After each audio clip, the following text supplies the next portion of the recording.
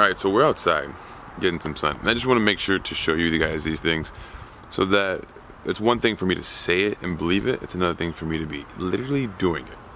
And by it, I mean sitting in the sun. And it's probably blurry because the screen looks fucking dirty. Let's clean the screen.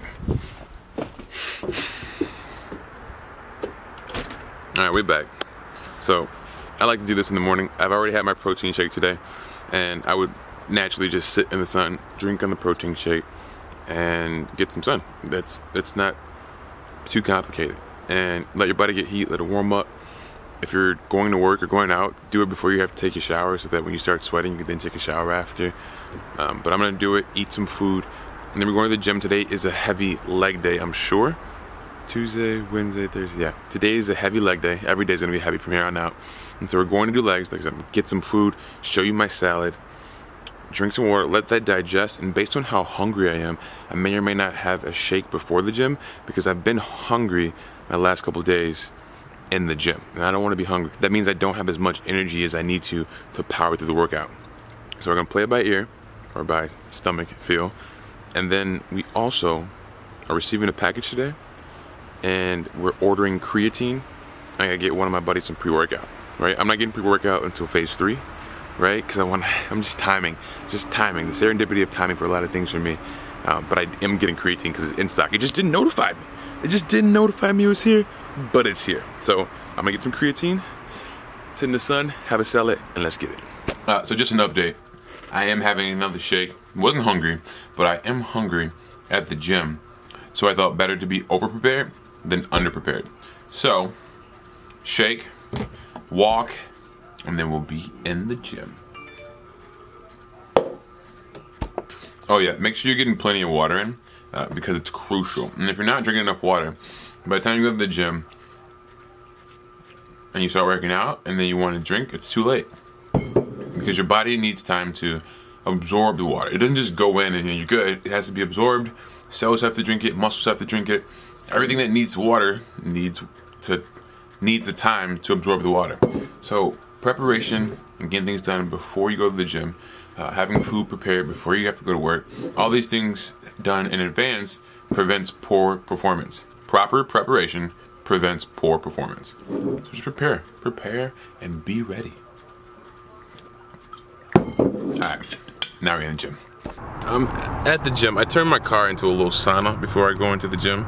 So you'll see me perspiring here, sitting in the sun. The sunroof's open, but the windows are closed. It's look definitely warm in here. And I came on here to let you guys know, on a scale of one to 10, I don't wanna go to the gym at all.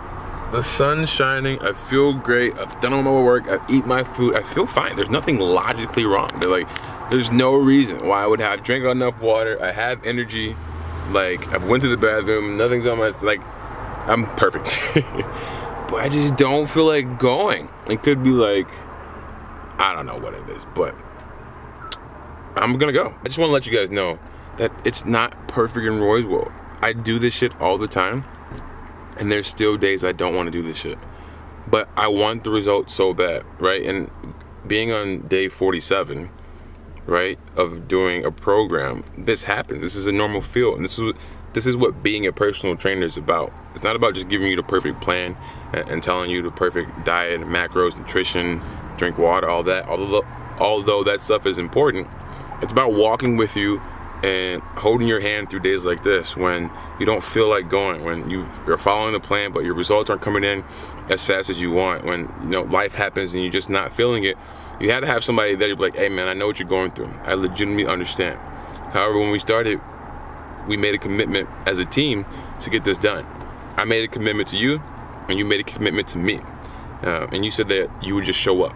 Because what I ask people when we first get started, not to be perfect, not to be great, not to not have flaws, I just ask them to show up. And if you can commit to showing up, showing up, showing up to the check-ins, showing up when you have to take your pictures, showing up to the sessions, showing up when it's time to do Skype calls, showing up every time it's time to show up. If you show up, then everything else will take care of itself. I don't want to be here. we here. Okay? I don't want to be here. But if I am giving advice to other people, I got to take my own advice. So show up. So if you don't want to be here, just go to the gym anyway. You want to be here, pull out the app, pull out the program and do it anyway. Because showing up and it's it's easier to not do it when you're at home. It's a little bit easier to do it even when you don't do it when you show up at least. At least I'm here. I don't want to be here, but at least I'm here and the, the weights are right here, so might as well go ahead and get get it done. So my little advice to you guys is just show up. Just show up. Don't worry about being perfect. Don't worry about not making mistakes. That shit's inevitable. We're gonna make mistakes, ups, downs, left and right. It's always going to happen.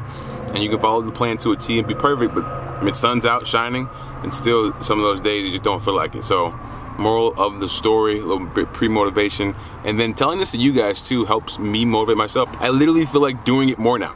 Since I've been talking for three minutes, telling you you just gotta show up anyway, and expressing this feeling and getting these thoughts out. It's like a therapy session uh, like like Lil Durk said, he said he treat the mic like therapy because he talked to it. I treat the camera like therapy because I talk to it, right? And so I just want to be able to relate to you guys and have you relate to me so that you will be more open to the information I have to provide to you. So with that being said, I'm gonna take my ass in the gym, foam roll, warm up, and smash legs. I got more than enough food in me. I got creatine on the way motherfucking vegan athlete series is live and well. So, see you inside. All right, so I wanted to start this video off with a voiceover, and then I'll let the rest of it play uh, just with some music over it. But this was a PR for me.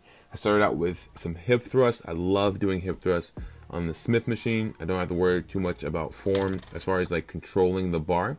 Um, I just have to focus on my actual form, like my body and the workout that I'm doing and how my legs are positioned and how my neck's positioned and stuff like that. So I came over, started with one plate, and then we went up to two plates here. And after doing that one plate, it felt like there was nothing on the bar, right? And just a couple weeks ago, maybe two weeks ago, this was my max, two plates.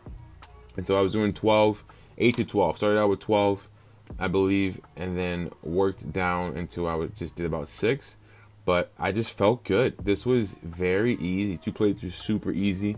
And so I was like, obviously, we're here to make gains. So I went up. Um, this would be 275 on a regular bar.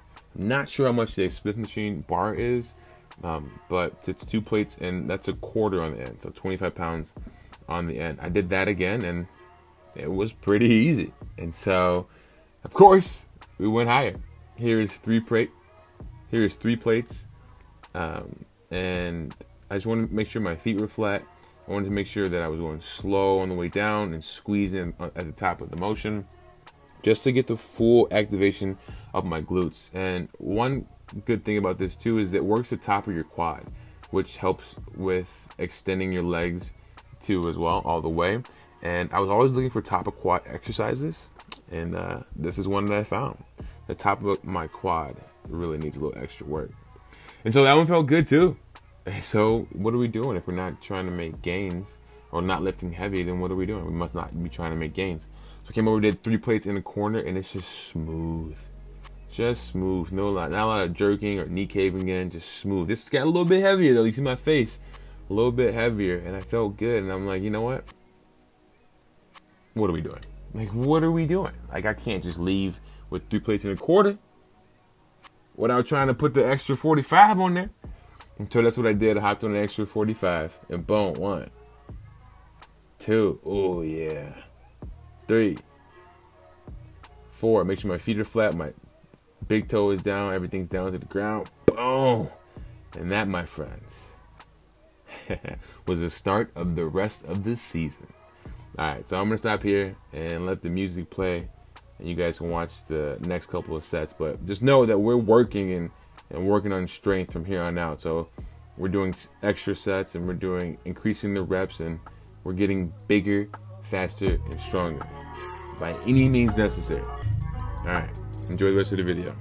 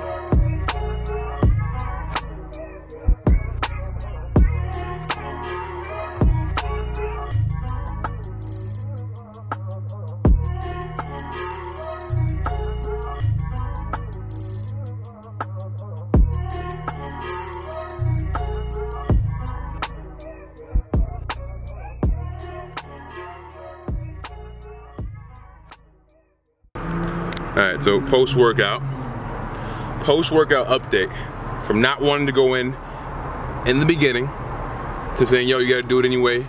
Fuck how you feel. Results, I had the greatest workout of the entire series just now. 47 days in, not wanting to do it. I had the greatest workout, hands down, bar none, the strongest, lifted the heaviest, have the most energy, form was great, endorphins firing, songs like playlist was on point, the shuffle playlist was on point. The best workout of the entire series happened on a day where I didn't feel like going to the gym. Let that sink in while we go get some food. okay, so check this out. Sometimes I uh, I make videos and I don't push the record button. At least I think that's what happens because I'm sure I made a full video of me eating a salad, but maybe not. I don't know. I could just be drunk and high at the same time. Anyways, so this is what we had. I had a big ass salad when I came back from work, from working out, and there were no shake, I didn't have a shake or anything like that because uh, I've had two shakes today already, and I was just really hungry, so I had a really big salad. And so I know I was talking about going three, four, five salads a day, so I don't ruin my stomach.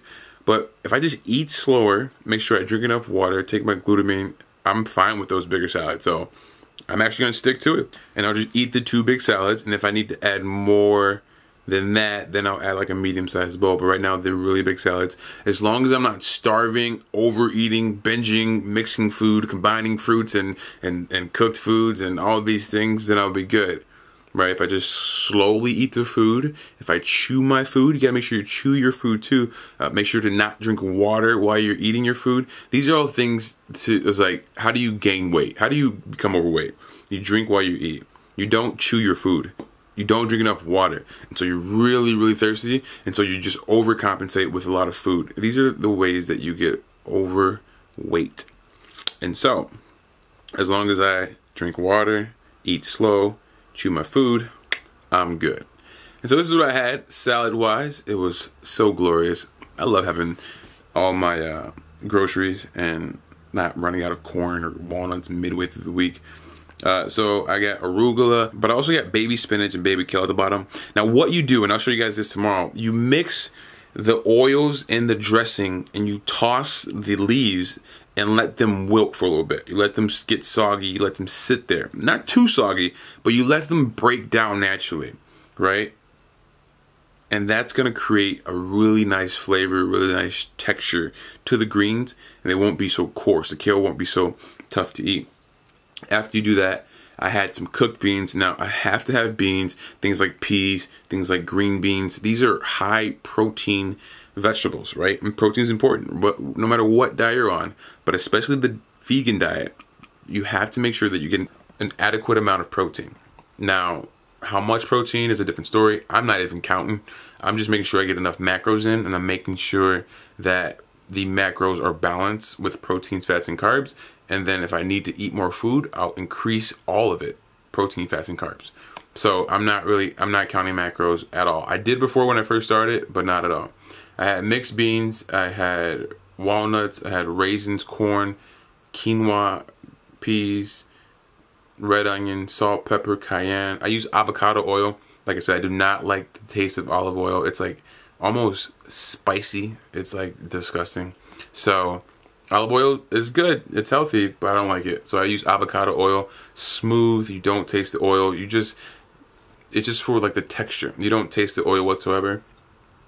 Uh, but you get some good fats in. I like grapeseed oil for the same effect. There's no taste to it. I don't like oily tasting things like like ugh, so that's what I had salt pepper cayenne I use light raspberry vinaigrette I use some sesame ginger dressing and this stuff is so good guys like the beans are the addition this week uh, I love those cooked beans. We cook them overnight for about seven hours slow. And like I said, beans are crucial because protein is important. No matter what, protein is important.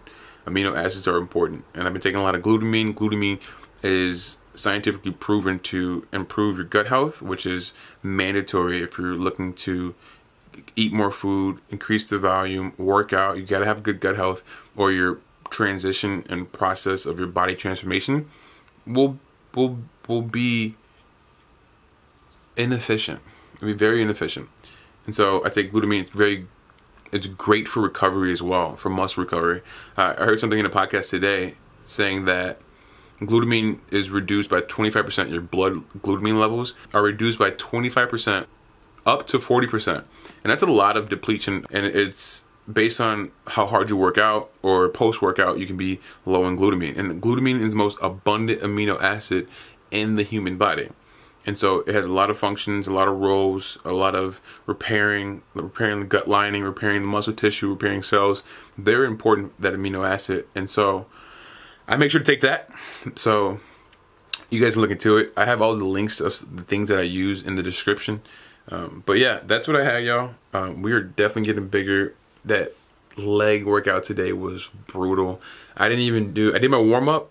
I didn't even do hip abductors or adductors, none like that. No, no extensions, no hamstring curls. Just using my warm up after my initial warm up. That's like my pre workout warm up with weights. I didn't do that because just there was people on the machines that I was trying to use, and so I'm not I'm not the guy to really wait around unless I need that machine. I can go do that workout on like six other different machines because I'm versatile. So I started out with heavy hip thrusts as you guys saw, and I went up to four plates, and holy fuck.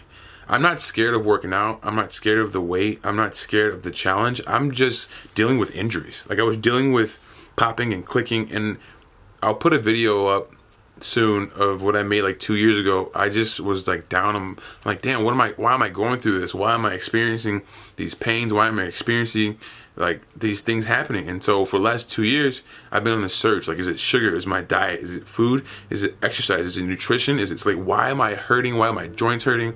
Why is my sleep poor? Why am I irritable? Like, why is all of this happening? And so for the last two years, I've been figuring that out and I've been working on a kinetic chain. I've been working on the entire human movement system and using the OPT model. And I've I'm now comfortable lifting heavy weight. and man, if you haven't seen me like this before, just be ready. Because as long as I feel comfortable, as long as I feel good, I don't feel like I'm going to injure myself. I don't feel like I'm compensating. Man, this is the most progress I've made in a in a in like a a regimen, and I'm excited. So I don't want to talk too long. It's already seven minutes. I really wanted to get that off my chest. So that's it, y'all. Thank you for watching. We're gonna be up. We're gonna gain some weight this week. By the end of phase two, I'm thinking like 202 pounds. Like we're not going back under 200 pounds. I'm lifting. The creatine is in transit. The creatine is in transit. Creatine is important. Talk about glutamine today. We'll talk about creatine probably next week when it gets here um, and do some super nutrients of the week. So thank you for watching. I'm done talking. I appreciate you if you guys watch it to the end and you sit here and listen to me talk and you get value. You're like, yeah, this Roy, this Roy guy knows what he's talking about. Or if I don't know, at least you go look look it up. Go Google it. Be skeptical. But then look it up. He said glutamine helps with muscle recovery and it's the most abundant amino acid. Let me look. Google or Alexa, what's the most abundant amino acid in the human body? Let's see if Alexa knows. Alexa, what is the most abundant amino acid in the human body? Here's something I found from the article Glutamine on Wikipedia. Glutamine is the most abundant naturally occurring, non-essential amino acid in the human body, and one of the few amino acids that can directly cross the blood-brain barrier.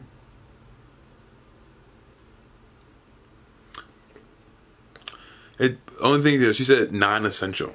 I believe it is essential. I don't believe we can create it, but I could be wrong. So we're gonna end on that. I'm gonna go do my research, have some more information for you guys tomorrow, and I will see you in the morning. Make sure you like, comment, subscribe, hit the bell. We're dropping videos every single day on the Vegan Athlete Series.